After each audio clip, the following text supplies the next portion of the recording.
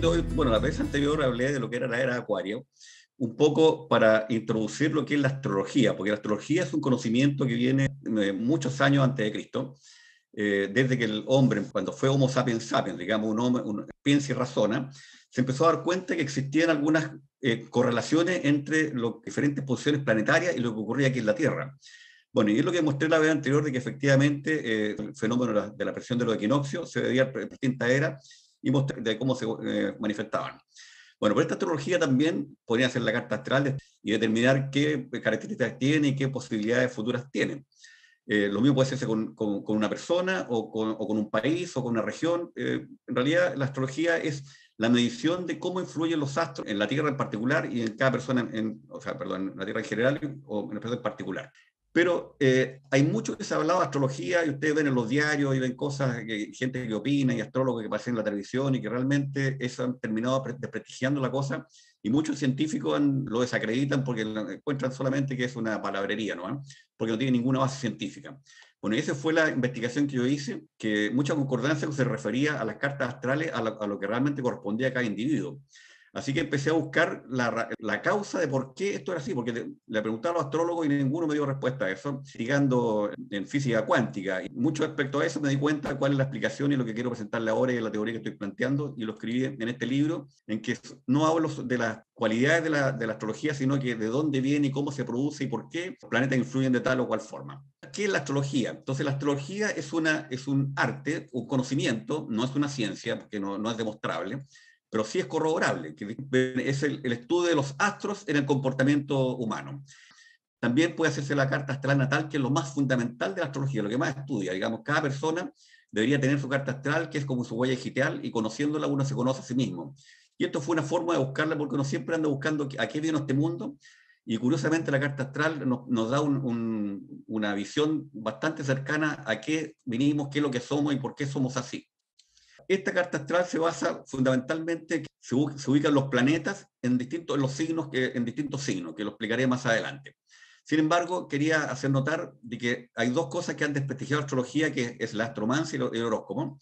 Ustedes saben, ven en los diarios el horóscopo, que es lo que dice para Sagitario, para Acuario, que para cualquier persona inteligente, o no, no inteligente, o por lo menos persona con raciocinio, dice cómo le va a pasar a todos los acuarios del mundo, es lo que está diciendo esas, esas tres, cuatro líneas. Por lo tanto, horóscopo es una tergiversación de la palabra real que significa, copia significa mirar y oro es la hora, es la hora de nacimiento, o sea, es la carta astral natal. Y el otro tema es la astromancia.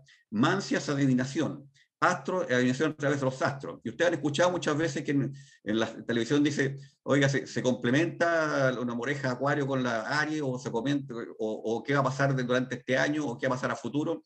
Eso es astromancia, eso no tiene nada que ver con la astrología de verdad. Eso son deformaciones que han tenido la, astrología verdadera y que ha terminado tergiversando lo que realmente es.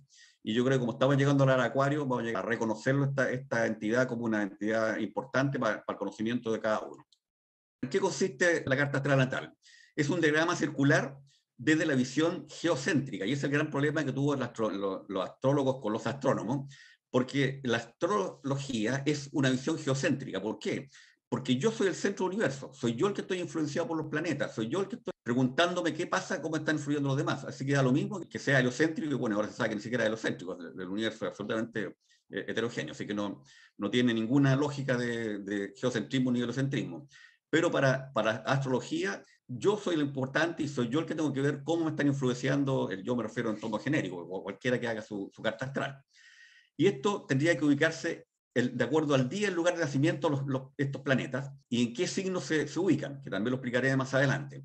Y lo otro que es importante, y hay que terminar de acuerdo a la hora exacta, porque la hora exacta tiene que ver con la hora de Greenwich, no con la hora que tenemos. Por ejemplo, ahora tenemos las 20:30, sin embargo, estamos una hora 43 de retraso respecto a Greenwich. Entonces, cuando uno ve la hora, y por eso de repente algunas cartas astral que por internet, en que ustedes le ponen, eh, nació ahora a las 20:30, sin embargo, está desfasado a una hora 43 porque estamos a 70 grados de Greenwich y la hora está marcada menos a 60. Esos, esos elementos hay que evaluarlo en una carta astral, no llegar y, y, pedir, por, ejemplo, por eso de repente no coinciden cuando se meten en internet, ponen la hora y, no, y sale cualquier cosa y no, no tiene nada que ver con lo que realmente corresponde. Y esta carta astral, una vez ya diseñada, se ve los arquetipos que significa cada una de estas cosas, tanto la, el, signo como, la, el planeta. en la vez anterior le expliqué cuál era el arquetipo de Urano. Urano, acuérdense que les dije que era un ser, eh, el marido de Gea, que mataba a sus hijos y los enterraba en la tierra. Pero tenía, tenía un simbolismo muy distinto. Eso era una forma arquetípica de, señalarlo, pero tenía hay que buscarle la verdadera significado que esto, que esto tiene. Estos arquetipos, para entenderlo más o menos de qué se trata, cuando nosotros hablamos, por ejemplo, del holocausto, todos nos imaginamos la gran debacle que hubo de los, de los judíos por, de parte de los nazis, o, decimos, o hablamos de Romeo y Julieta, eh, decimos, bueno, es el amor perfecto. Esos son los arquetipos. Y los arquetipos que tienen, que tienen eh, los distintos planetas y signos están guardados en la mitología, muy escondidos, y son la escuela hermética que tienen guardado todo este, todo este conocimiento. Y conociendo los arquetipos de cada uno de los planetas, que se han estudiado durante miles de años, eh, se puede determinar qué función cumple cada planeta o cada signo en la carta astral de cada cual. Lo otro que es importante de ser que esta carta astral no es determinista, y ese es el gran problema que tienen los astrólogos en la acción que lo he visto. Mire, usted tiene a Saturno en la casa 2, por lo tanto va a tener problemas económicos, o tiene Sol en la casa 10, por tanto va a ser una persona exitosa. Pero eso es determinismo, y eso no es así. Uno es dueño de, uno tiene libre albedrío, uno puede elegir lo que uno escoge, y solo influye, y esta influencia uno puede aceptarla o rechazarla. Esta carta astral nos muestra por partes iguales a todos, los que sacan la carta astral, una cantidad de defectos y una cantidad de virtudes. Entonces la tarea es simplemente trabajar los defectos y desarrollar las virtudes. Y en la medida que, se logre este objetivo, uno va a ser feliz, que esa es la forma, uno de los caminos para, para conocerse a sí mismo y para poder eh, evolucionar en esta vida. Les recuerdo que antiguamente existían los famosos figurats, donde se colocaban los distintos, las personas a, estudiar los, los, astros y ver cómo influenciaban sobre cada ser humano. Bueno, aquí traigo una, una imagen muy linda que, que, se ocurrió en el año 2018, en octubre, en que estaban los cinco planetas en línea. Estaba Mercurio, Venus, eh, Saturno, Marte y Júpiter en línea, cosa que es muy raro que se vean porque los planetas todos giran a, velocidades distintas. Entonces, ya están circulando alrededor del Sol. Se dio la coyuntura que esto ocurre cada 10 o 20 años nomás. Son muy pocas las veces que los, los cinco planetas se junten en línea. Aquí está visto desde de otra, del lado norte, en que veo Mercurio, Venus, Saturno, Marte y Júpiter, los cinco planetas, pero aquí quiero hacer una aclaración del concepto planeta. Planeta significa errante. Esta es una palabra que viene del griego, por tanto, la palabra planeta significa todo aquello que se mueve en el cielo. ¿Y qué se mueve en el cielo? Estos cinco planetas más el Sol y la Luna. Por lo tanto, estos siete son planetas desde el punto de vista astrológico, así como eh, geocéntrico, también los planetas son los cinco que corresponden a los, siete estos que están pensando aquí, más el Sol y la Luna. Y estos siete planetas son los que terminaron la semana. Ustedes saben que el lunes tiene que ver con la luna, o en inglés eh, antiguamente era Monday y se cambió a Monday.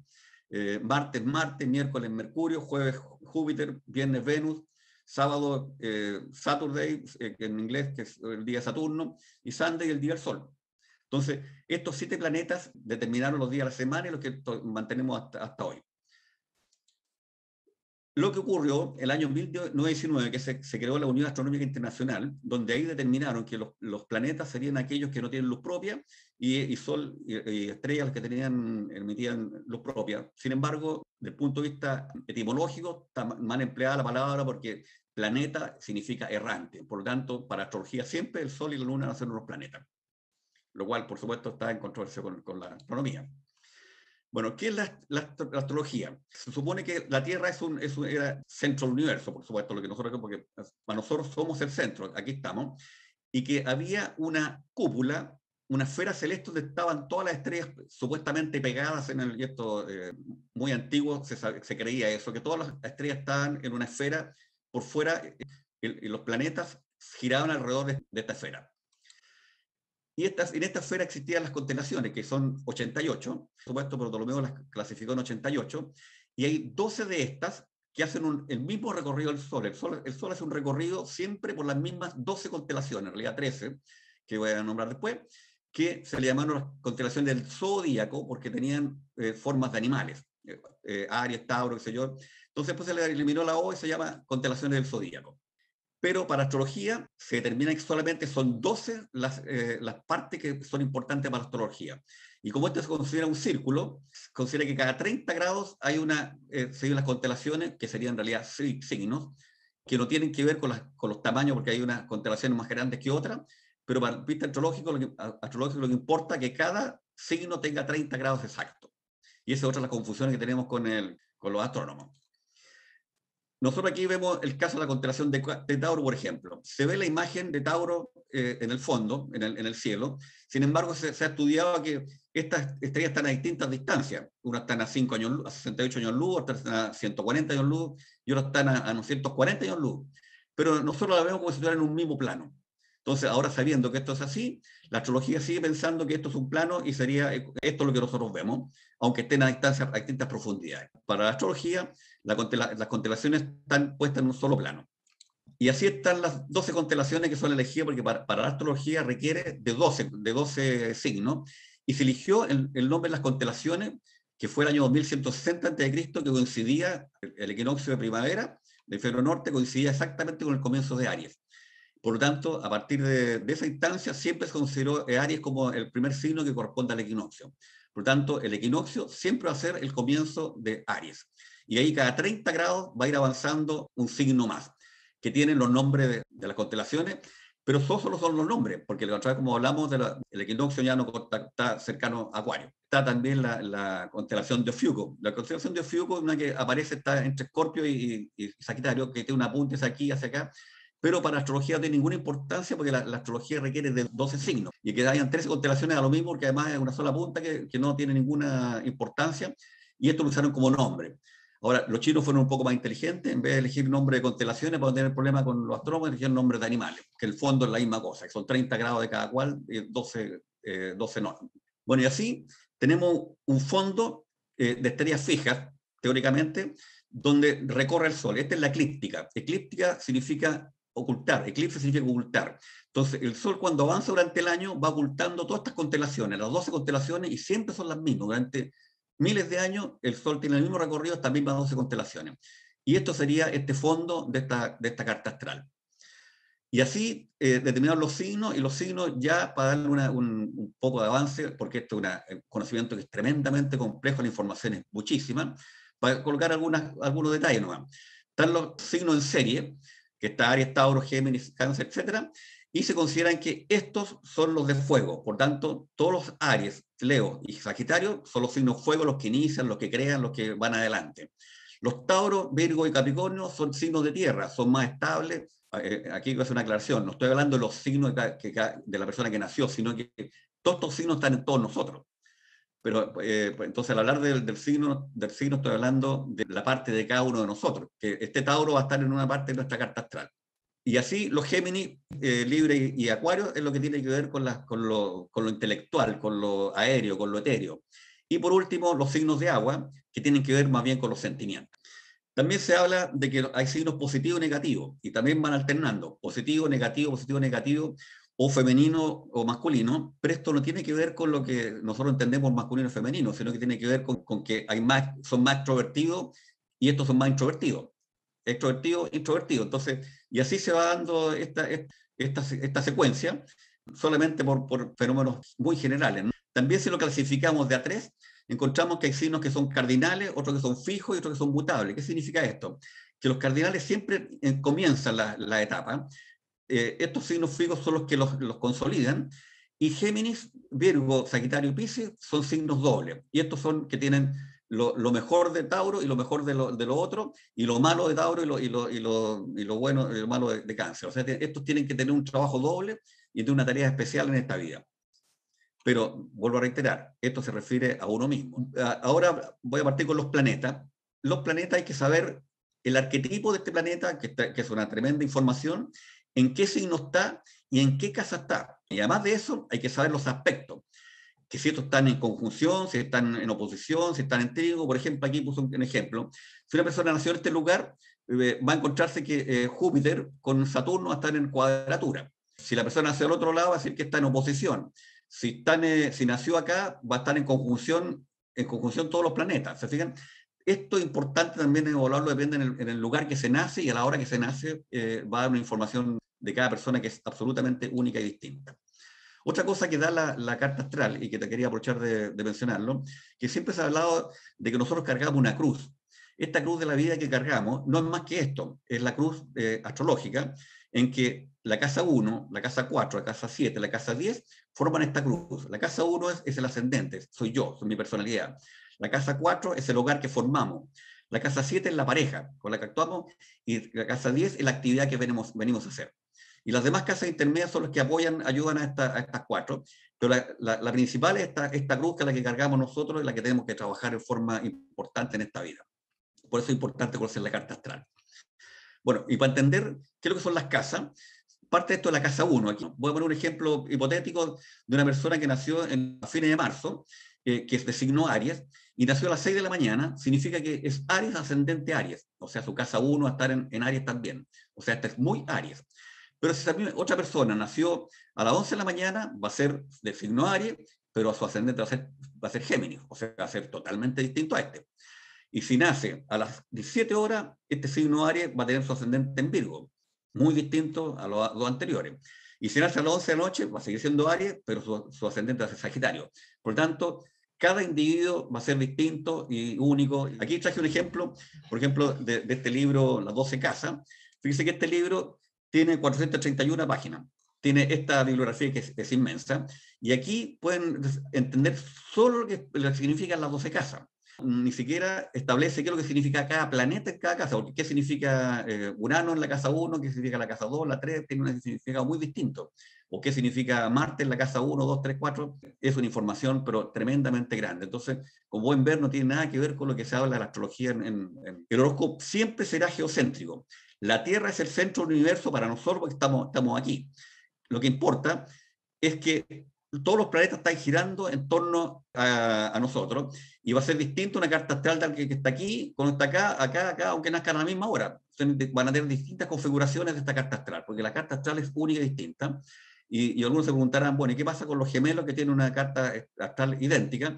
Claro, van a ser distintos por otros fenómenos, porque además durante la vida también van a tener experiencias distintas que lo van informando de una forma distinta. En resumen, este recorrido del Sol, que, lo, que siempre parte del equinoccio, y siempre el equinoccio va a ser Aries, y cada 30 grados va a ir cambiando un signo, y Cáncer está en el trópico, por eso se llama trópico de Cáncer, y otro tema está en el trópico de Capricornio, donde empieza Capricornio, y siempre termina en Pisces, y vuelve a Aries, y sucesivamente toda la vida a ser, eh, esto, esto no cambia toda la vida ser Aries el, el inicio de, esto. Y el que nace en, en, otra fecha va a tener otro signo, pero solamente es el signo, que hay que medirlo, como decía, los planetas y en qué casa está.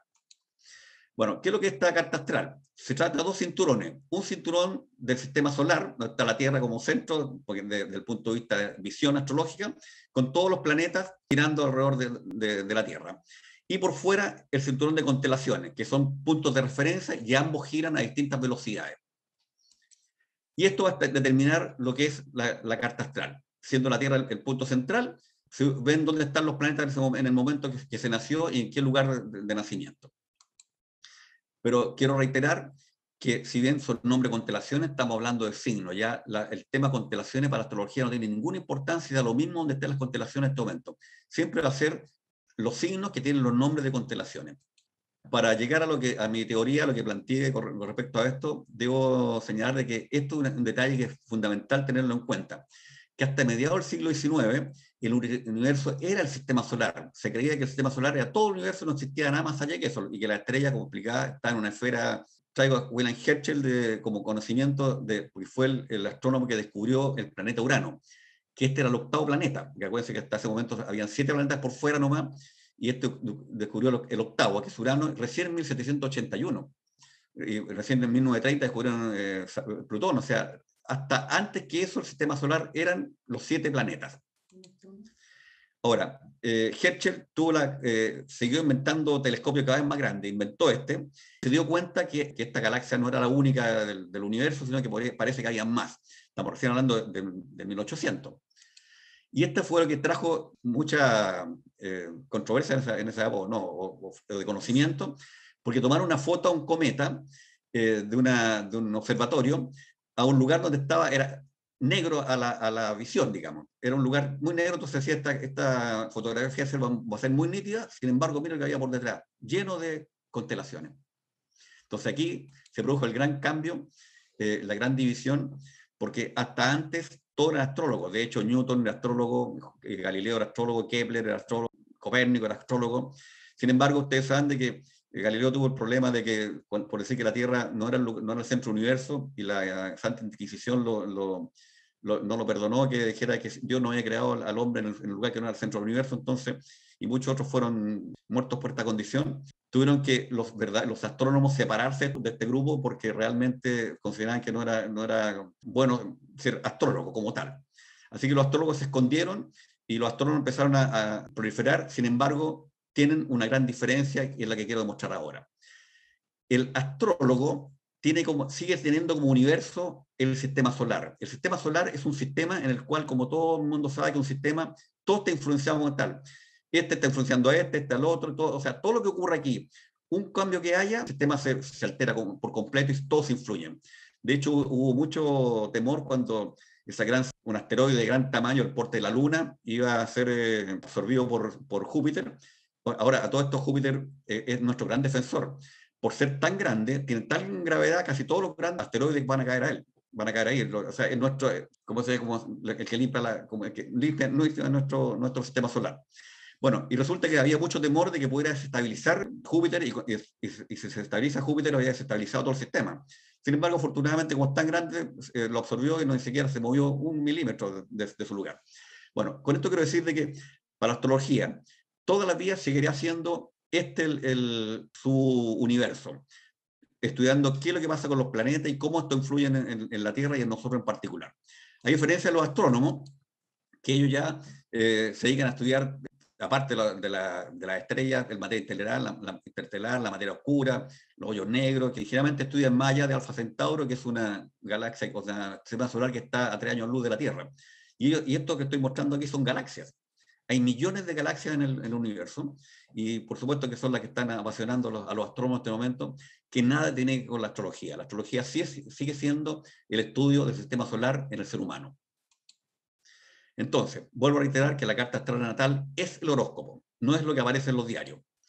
Y aquí voy a poner un ejemplo, eh, en, un, en, una situación cualquiera, donde está el Sol, ¿cierto? Y, todos los planetas girando al, alrededor de este, y todos giran a diferentes velocidades, por tanto vamos a encontrar que eh, van a estar en diferentes posiciones.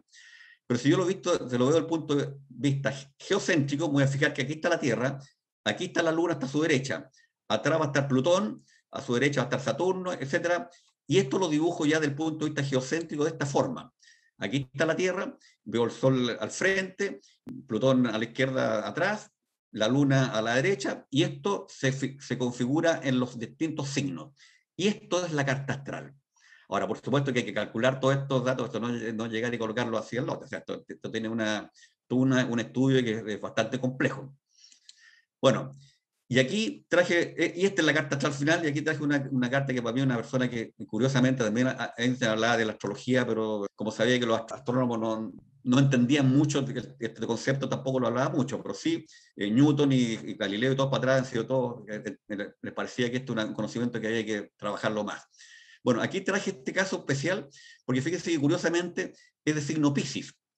Ahora, ¿qué, qué hacen los Pisces? Los Pisces, eh, es raro encontrar un, un Pisces que, que, sea matemático, porque se dice son muy sentimentales, son muy evasivos, o, o son eh, personas que se preocupan mucho de la, de la caridad y esas cosas más aún siendo ascendente cáncer, o sea, es, es agua y agua. O sea, nadie se imaginaría que un matemático tuviera esta configuración. Pero ¿dónde está? Está, por ejemplo, en este Urano en, en, en, en Leo, está en este Sol en la, la, casa 10, está este Júpiter en Acuario, o sea, hay que ver muchos otros factores. Por eso cuando dice que alguien que es Sagitario, ascendente Sagitario, ah, ese tipo es deportista de por sí. Claro, puede ser, pero pero no necesariamente porque hay que eh, evaluar todos los demás planetas que, están que pueden influenciar en este asunto. O sea, por ejemplo, si, si por ejemplo, esta persona es Pisces, pero lo único que tiene de Pisces es que el en la casa 10. ¿Qué significa que ha sido la profesión? Va a ser un, una persona reconocida mundialmente. Todos los que tengan el Sol en la casa 10 son reconocidos. Bueno, la idea no es hablar de, de, de, la, de la, configuración, sino que era plantear mi teoría. Y yo buscando eh, información de cómo se da me encontré con que para convencer a alguien a decirle, mire, la luna influye sobre el agua de la Tierra y el ser humano tiene 70% de agua, por tanto, nos influye. Pero también me contesta, dice, ¿cómo puede influir Saturno, que está a 1.200 millones de kilómetros? Bueno, y aquí está lo que eh, descubrí, que la relatividad de Einstein, la cuántica, me lo explicaron. Estudié mucha cuántica y la relatividad de Einstein también me apasionó mucho y después de estudiar mucha física logré encontrar la, la solución de esto y lo aplicaré muy, muy simplemente. Aquí tengo eh, la teoría del Big Bang, que cuando el comienzo de los tiempos había nada, había solamente energía, lentamente aparecían las micropartículas, que son los quarks y los electrones, después los quarks se, fusionaron de a tres y formaron los protones y los neutrones, y después estos mismos protones se unieron con, con electrones y formaron los, los, átomos de, de, hidrógeno, después dos protones y dos neutrones con dos, dos electrones formaron los, átomos de helio, y, así sucesivamente el 90% de la materia del universo está formada de, estos, dos, de estos dos átomos. El otro 10% se forma después de la, cuando se producen las explosiones, las explosiones de las grandes estrellas, eh, aparecen los demás átomos. Sin embargo, aparecieron cuatro interacciones fundamentales que quiero pasar a, a, relatar que tienen que ver con, la, con mi teoría.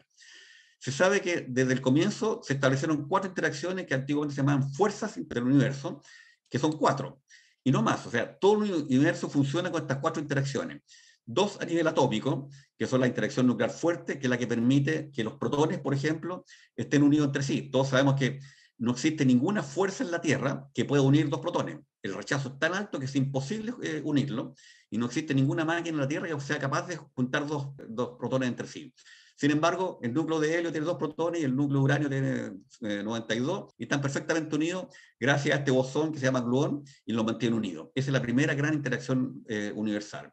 La otra interacción nuclear débil se le domina que unos bosones W, y Z, que son los que permiten el cambiar de un átomo a otro, que se formen los iones, que se, que se pierdan electrones. Bueno, esto es, física cuántica, es mucho más complejo. Eh, créanme que estas son las interacciones que están establecidas a nivel nuclear y a nivel universal, estas otras dos que está la interacción electromagnética, que controla todo lo que tiene que ver que tenga carga, y cuyo bosón es el fotón. Entonces los fotones son los que manejan tanto la, el magnetismo como, como las luces y todas las ondas que existen en, el universo.